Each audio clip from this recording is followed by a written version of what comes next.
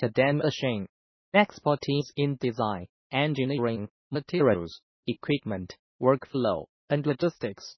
We work together to provide ultimate solution since 2001.